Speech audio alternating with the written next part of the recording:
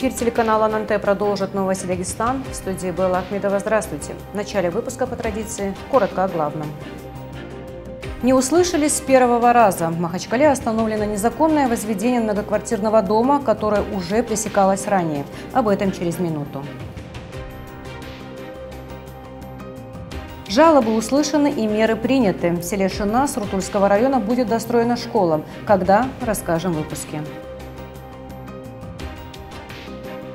Большие носы, восточное гостеприимство и мудрость старцев. В Доме дружбы Махачкалы открылась ретроспективная выставка заслуженного художника Дагестана Ислама Шавкринского.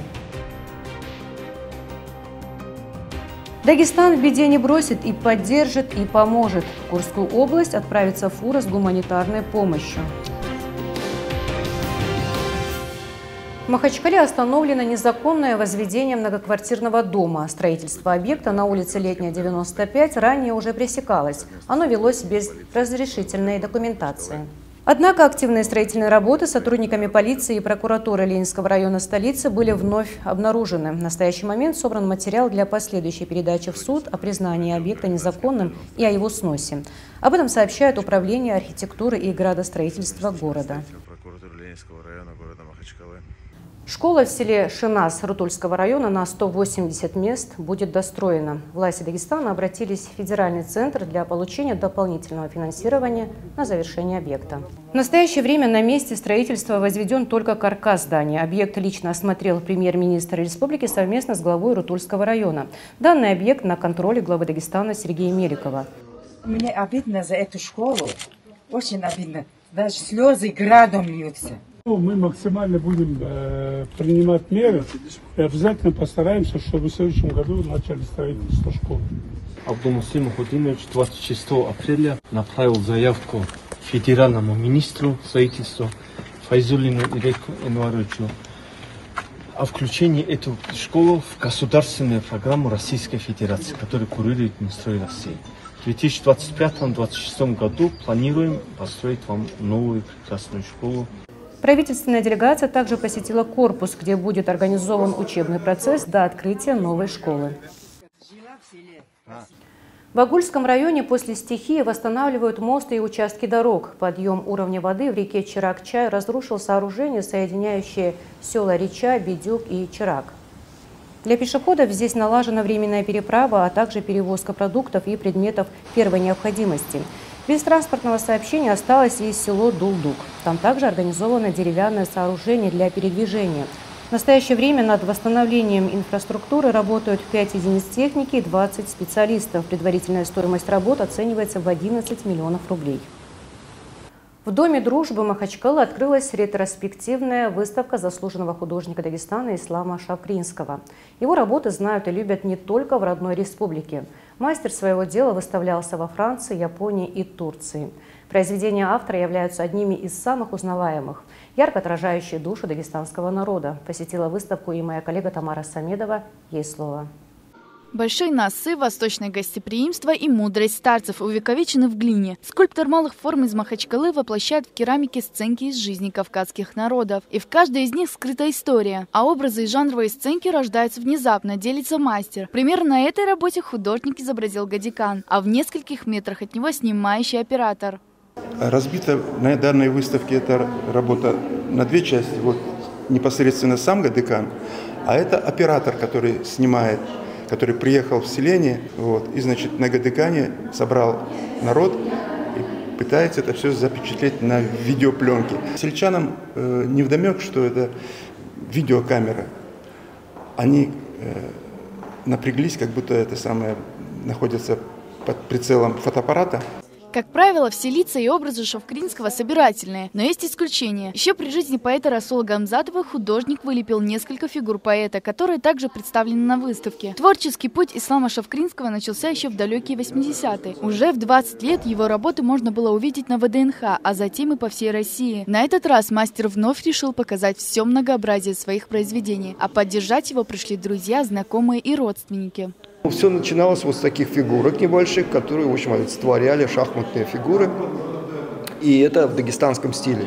И он поймал в этом смысле свой кайф, если говорить художественно, да, и уже потом эти фигурки, они подросли и стали уже, э, вы видите, здесь они э, и гадеканы какие-то появились, Шавкринский выставлялся также во Франции, Японии и Турции. Его работы всегда узнаваемы, так как в них ярко отражается душа дагестанского народа. И это отличает художника от всех остальных. Ислам Шавкринский создает и необъемные фигуры, такие как декоративные панно, состоящие из керамических плашек с, нанесенной, с нанесенными архаичными знаками, фигурами, символами, которые когда-либо имели сакральный смысл – вот. Я думаю, эти работы прекрасно впишутся, впишутся любой э, классический дагестанский интерьер. Необычная керамика Ислама Шавкринского покорила сердца тысяч людей на разных континентах. А сам мастер считает себя самоучкой и не претендует на лавры, но для почитателей его таланта это не имеет значения. Тамара Самедова, Шамиль Хюресулаев, Новости ННТ, Махачкала.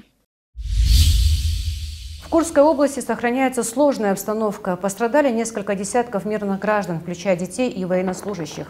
На данный момент порядка трех тысяч человек эвакуированы с обстреливаемых территорий. Председатель Курской общины мусульман Иса Салим Султанов активно призывает оказать поддержку размещения жителей из приграничья в безопасную зону. Людей, которые вынуждены покидать свои дома, очень много. Постоянно летят ракеты, сирена, не молкает, можно сказать. Есть взрывы, разного рода стрельба.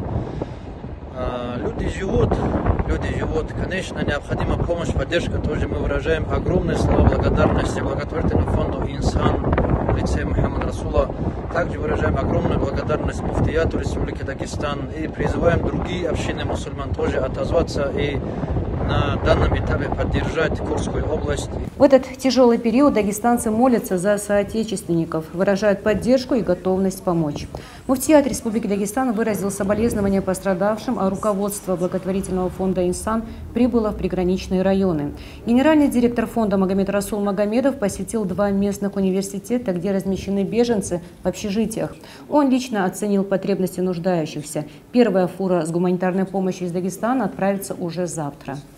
Да, мы сейчас вот э, решили поехать именно в те деревня, в те населенные пункты, где люди не захотели их покидать из-за своего имущества, может быть из-за э, каких-то своих физических возможностей. То есть это более такие нуждающиеся люди, которые находятся в той, на той территории, где ну, есть боестолкновения, там где-то э, красная линия где идут бои, поэтому мы решили как можно ближе поехать и в этих населенных пунктах показать именно вот таким людям, нуждающимся, э, такую помощь.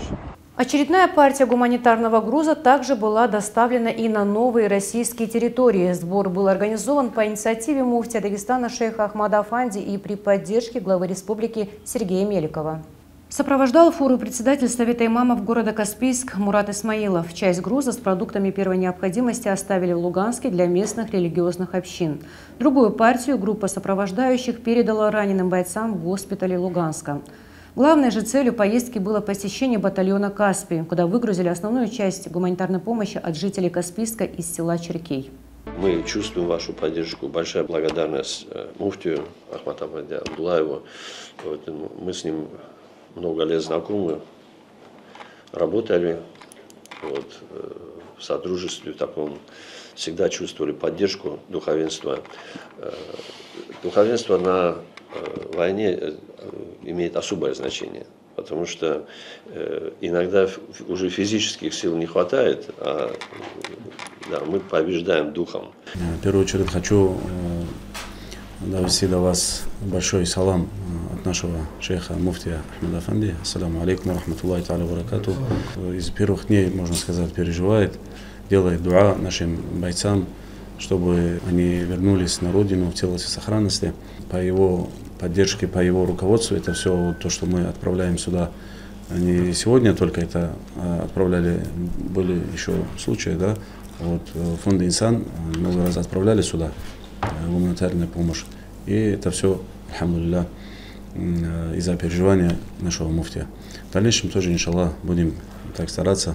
Делегация из Дагестана ознакомилась с условиями, в которых находятся военные в зоне проведения СВО. В знак благодарности за постоянную поддержку и помощь бойцы батальона «Каспий» передали муфти региона свою форму с шевроном «Республика Дагестан».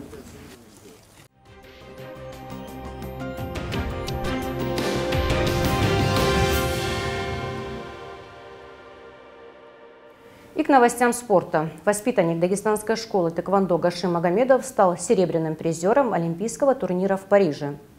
Второе место представитель команды Азербайджана занял в весовой категории до 58 килограмм. Магомедову 24 года. Он уроженец Шамильского района. Тренируется под руководством своего отца Магомеда Магомедова. Выступить лучше спортсмену помешала серьезная травма ноги, полученная на старте финального поединка против южнокорейца Та Жон Парка. Перед этим Магомедов одолел олимпийского чемпиона Токио 2020 из Италии, а также взял верх над представителями Ирландии и Испании.